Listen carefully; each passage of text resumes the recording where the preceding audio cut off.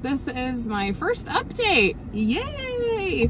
Hopefully you guys saw the b-roll from my trip to Chicago. I didn't really film anything while I was there, me speaking anyway, or doing any updates, just because I wanted to enjoy the time I had. So yes, that's what that was. Justin and I spent the weekend in Chicago, and it was a lot of fun, just the two of us. And I didn't really read any. I got one night with Happy Place by Emily Henry, um, and I got through a couple of chapters, but that was really all I read.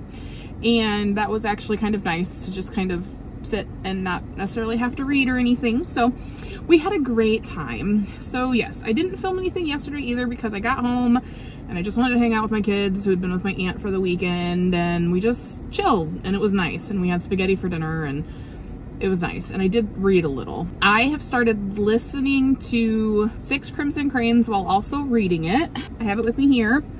Um, I am a little over halfway through, not very far, but I could probably, if I tried hard enough and didn't have any plans, I could probably finish this tonight. So the other book I'm reading is Happy Place by Emily Henry, and it's really cute too so far.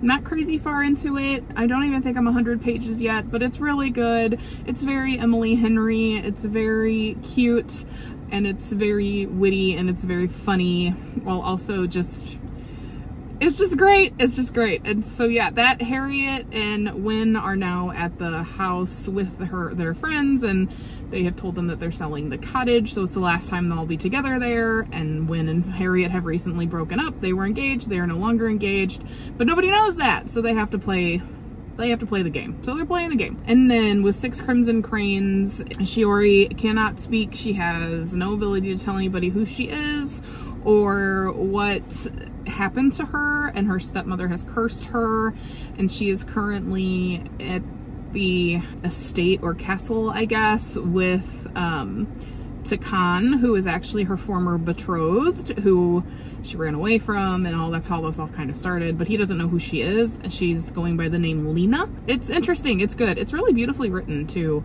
and it's fun and she's got this little paper bird that is just so funny. And she can talk to the paper bird because they talk through their minds because they're connected. She also has a dragon that she talks to through minds because you know why not? That's where we are. It's really good. Like i said i'm about halfway through. This will be for the the first prompt which i cannot sea monster fairy. Sea monsters fairy this is for the Sea Monster Fairy prompt for the readathon with the Fox and Woods. That is what I'm working towards is finishing up that one. I will also say that I signed up to do a Friends readathon with a bunch of people on my Discord. We don't have the prompts yet, but we are all split up into teams. So you take a quiz and you figure out if you are more like Joey, Rachel, Monica, Chandler, Phoebe, or Ross. And if you want to keep that, you can. Otherwise, you can pick who you want to be. Like me, I fell in with Rachel and I kept it. Even though maybe I don't identify completely with Rachel, I like Rachel. So I'm like, okay, whatever. So that puts me on Team Spaghetti. and so we're split into three separate teams. The teams are Phoebe and Ross, Chandler and Monica, and Joey and Rachel. And so if you fall into a Joey or a Rachel category, you're on all on the same team and with all the rest of them too. We don't have the prompts or anything yet, but we've been chatting and getting to know each other a little. A lot of us are all from the Fox and Wood Discord because that's who created it. We're members of Lexi's Fox and Wood Patreon. And so we're all from that. A lot of us are from that. And we're having a good time. we're sending each other fun little gifs and memes and all of that kind of stuff and it'll be great. We're supposed to know the prompts I think they said by May 16th. And then that will probably be a very large focus for me in June is the Friends Readathon. Just like right now, my really big focus is the Fox and Wood Readathon for May. And like I said, Six Crimson Cranes, as soon as that is done, that is a prompt I can check off and move on to the next one. I'm very excited. I'm having a very good time with the books I have been reading and what I have chosen to read and all of this kind of stuff. So I will say with Six Crimson Cranes, Shiori is such a strong character. At first you think she's kind of at first she comes across as very naive and just wants to be with her brothers but as all of this is going on she's becoming a much stronger female protagonist. She's becoming a much stronger female character and I am in love with that. So she's like 17 and she's very sweet and she wants things to be okay and good and like I said she doesn't want to say anything because she doesn't want to kill her brothers because if she speaks one of her brothers will die. It's just a huge thing. And she's so concerned, but she also wants to still be really helpful. And it's very interesting to me. And I'm really curious to see how this is all going to play out because she can't speak and she can't even write it. If she even tries to write down who she is, like bad things happen. So I don't know, man. I guess we're going to have to see where it goes but I'm enjoying it. It's fun. But that's really the only update I have for you. I'm going to uh, go home after I pick up Cadence and read. Charlie's having dinner with their grandfather this evening, so I am going to have to come up with something for dinner for Cadence and I. I don't know what that will be yet, but we'll see how it goes. That's all I have. It's gonna be a quiet night. I'll take it. All right, I will catch up with you guys later. Goodbye!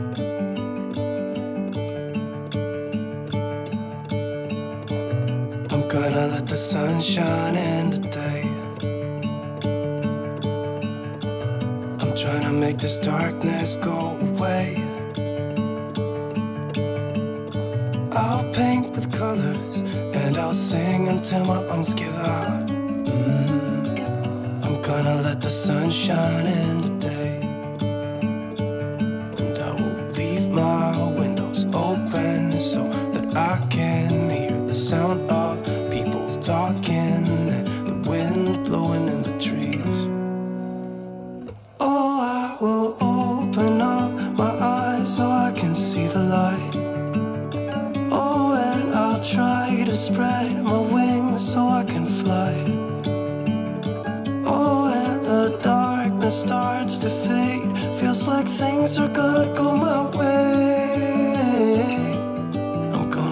sunshine in the day.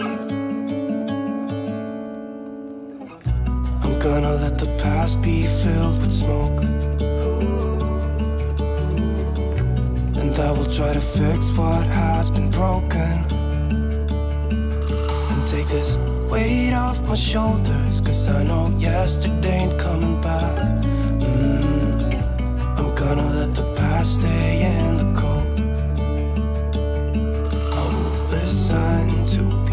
the Let its unsaid words be spoken and I'll let my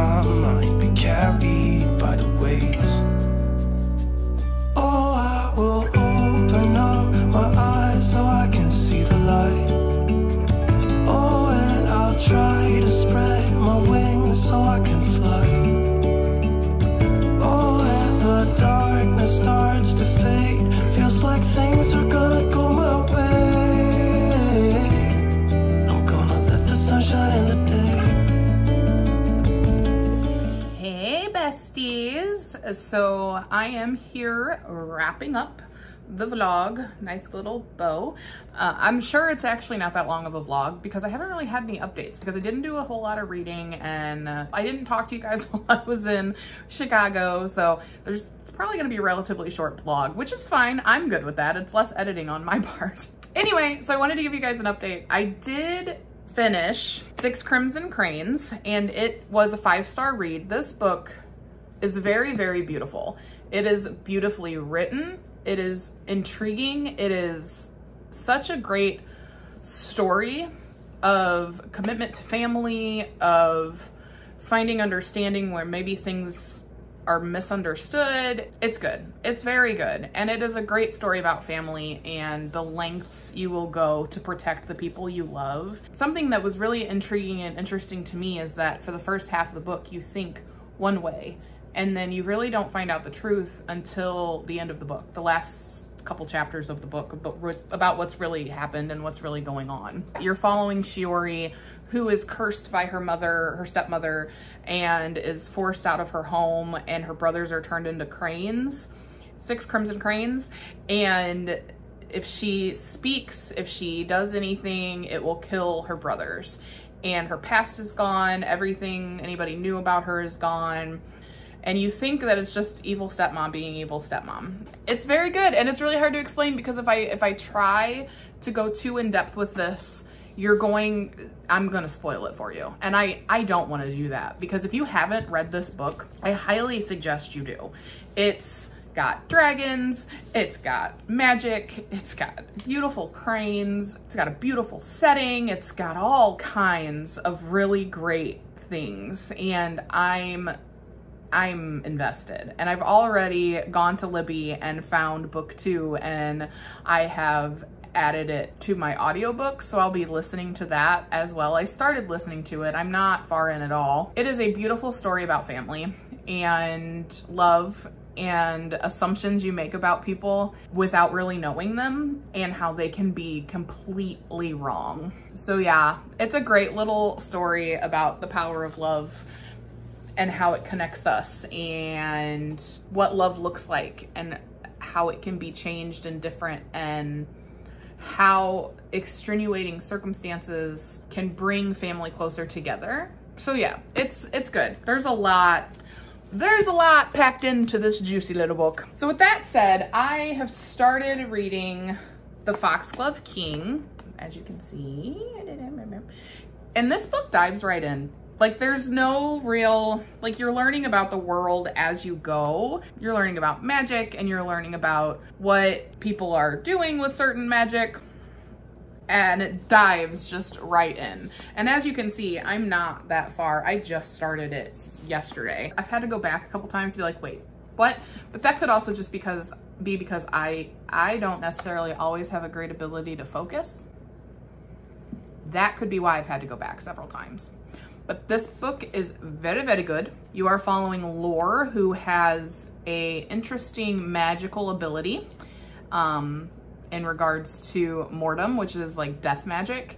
And she is captured by the the king's people, like the king's army, and and she was expecting to be burned at the stake, but they're offering her a deal about some illnesses that have been happening. Like people have been randomly dying in other villages, and it's whole villages. It's not just small amounts of people. It is it's literally whole villages are dying and they believe it has to do with the mortem magic.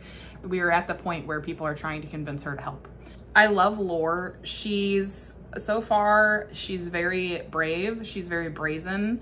Um, she's very sarcastic, which I enjoy. I love a sarcastic protagonist. I really do, especially a female protagonist. Love that love that.